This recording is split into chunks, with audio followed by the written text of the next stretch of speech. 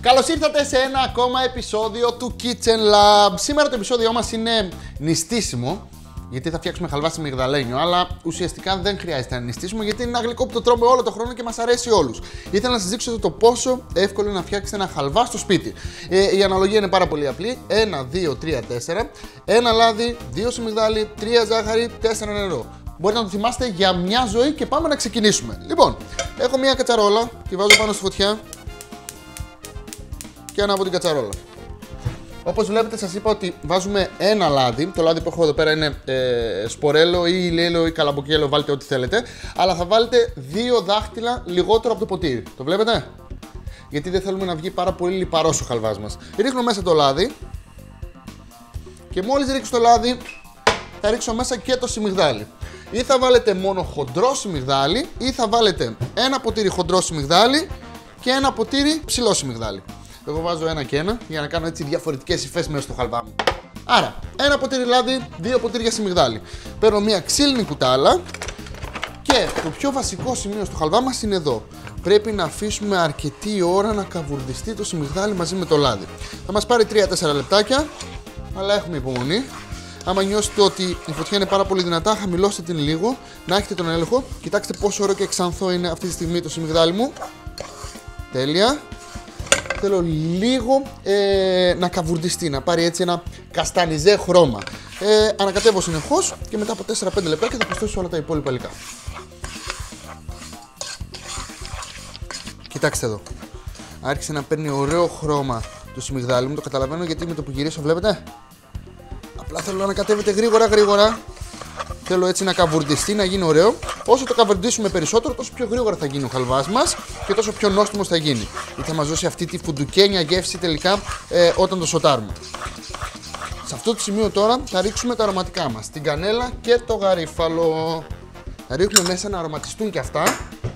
Και η Μαρία έχει να μου κάνει μια ερώτηση. Για ερώτηση, Μαρία. Γιατί βάζουμε σπορέλαιο και όχι ελαιόλαδο. Μπορούμε να βάλουμε και ελαιόλαδο, αλλά πρέπει να το κόψουμε στη μέση. Μισό ελαιόλαδο, μισό σπορέλαιο. Γιατί αν βάλουμε μόνο ελαιόλαδο θα γίνει πάρα πολύ ε, βαρύς ο χαλβά μα και είναι κάτι που δεν θέλουμε. Επίσης μπορούμε να βάλουμε μισό σπορέλαιο, μισό βούτυρο. Ε, αλλά για μένα η πιο ασφαλής λύση είναι αυτή. Να βάλουμε μόνο σπορέλαιο. Κοιτάξτε εδώ τι ωραίο χρώμα που έχει πάρει. Θυμάστε πόσο λευκό που ήταν. Όσο πιο ωραίο χρώμα τώρα δώσουμε ε, στο σμιγδάλι, τόσο πιο νόστιμος θα γίνει ο χαλβάς. Προσέξτε, δίνουμε ωραίο χρώμα, δεν τον καίμε. Λοιπόν, σε αυτό το σημείο Πάμε να προσθέσουμε τα τρία ποτήρια ζάχαρη. Έχουμε ποτήρια στο kitchen lab, δεν παίζουμε.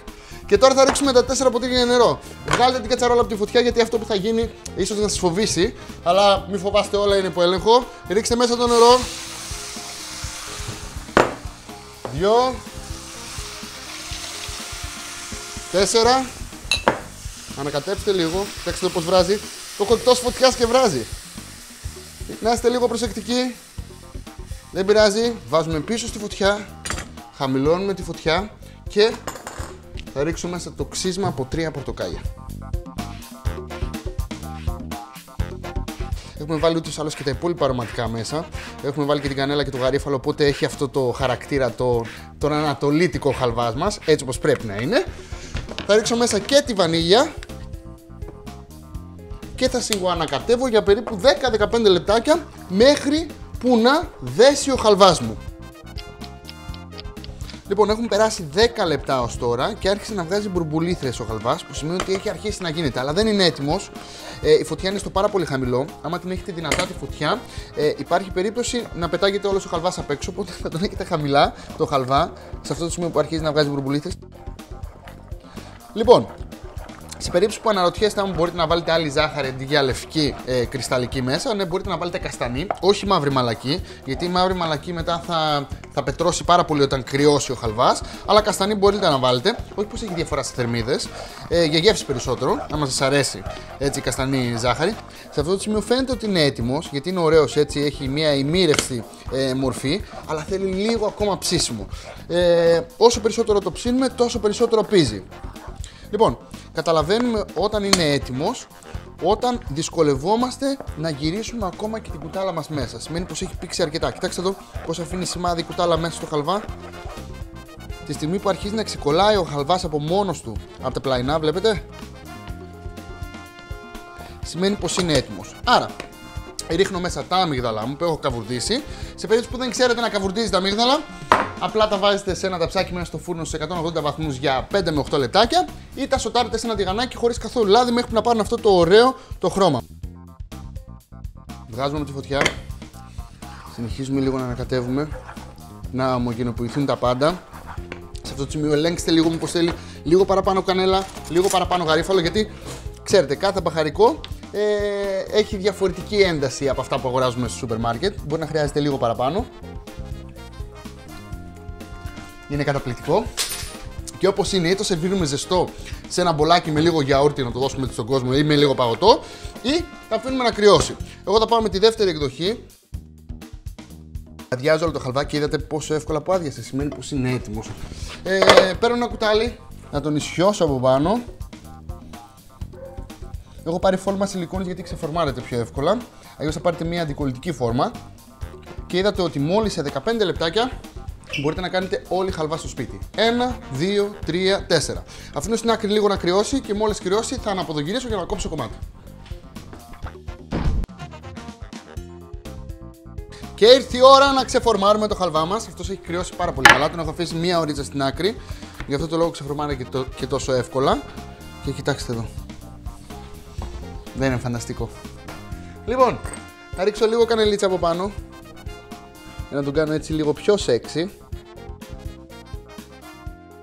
Καλά τώρα θα μου πείτε πώς γίνεται να τον κάνεις πιο σεξι. Εντάξει, λίγο κανέλα, δεν θα κάνω τίποτα άλλο. Λίγο κανελίτσα. Θα κόψω δύο ωραία κομμάτια. Και κοιτάξτε εδώ. Δεν ξέρω, κάποιους ε, τους αρέσει ο χαλβάς ε, ζεστός, σε κάποιους αρέσει να είναι κρύος. Ε, εμένα μου αρέσει και με τις δύο εκδοχές. Κοιτάξτε μέσα. Το βλέπετε. Γι' αυτό μου αρέσει το αμύγδαλο φιλέ, γιατί πάει παντού. Ένα κομματάκι, δύο κομματάκια. Εντάξει, το κάνω έτσι λίγο πιο υπερπαραγωγή. Θα βάλω τρία κομματάκια. Και τι καλύτερο από λίγο παγωτάκι μαζί με το χαλβά μας. Έχω λίγο παγωτό καϊμάκι εδώ. Νομίζω το καϊμάκι πηγαίνει υπέροχα με το χαλβά. Θα κάνω ένα ωραίο κενελάκι. Και τώρα θα μου πείτε, καλά ρε φίλε, έχεις βάλει τρία κομμάτια χαλβά και θα βάλεις μόνο τόσο παγωτό. Έχετε, έχετε δίκιο. Το κάνω έτσι μόνο για στιλιστικούς λόγους. Μ' αρέσει και με παγωτό και χωρίς. Ε, λίγος δυόσμος. Ξέρετε πολύ καλά ότι χωρίς δυόσμο εγώ γλυκό δεν σερβίρω. Λίγο έξτρα κανέλα. Και θα κόψω ένα κομμάτι για μένα. Για να δοκιμάσω. Είναι φανταστικό. Σήμερα είδατε πως να κάνεις χαλβά στο σπίτι. Δεν χρειάζεται τίποτα άλλο. Από το μια κατσαρόλα, ένα, δύο, τρία, τέσσερα και κάποια αρωματικά. Μπορείτε να το φτιάξετε όλοι. Αυτή είναι η καλύτερη συνταγή που υπάρχει. Ε, όσοι και αν σας λένε ότι είναι καλύτερες, λένε ψέματα. Θα ακολουθείτε πάντα τη δική μου συνταγή. Μην ξεχάσετε να κάνετε subscribe στο κανάλι μας. Μην ξεχάσετε να γράψετε comments από κάτω. Ε, μην ξεχάσετε, άμα σας αρέσει το βίντεο, να το κάνετε share. Κοινοποιήστε το στους φίλους σας να φτιάξουν κι άλλοι αυτή τη συνταγή. Με το που κάνετε τη συνταγή, βγάλετε φωτογραφίες και στείλτε μου. Γιατί γουστάρω πάρα πολύ να βλέπω τις φωτογραφίες από τα φαγητά που φτιάχνετε. Αυτά, φυλάκια πάρα πολλά. Ραντεβού στο επόμενό μας επεισόδιο. Γεια σας!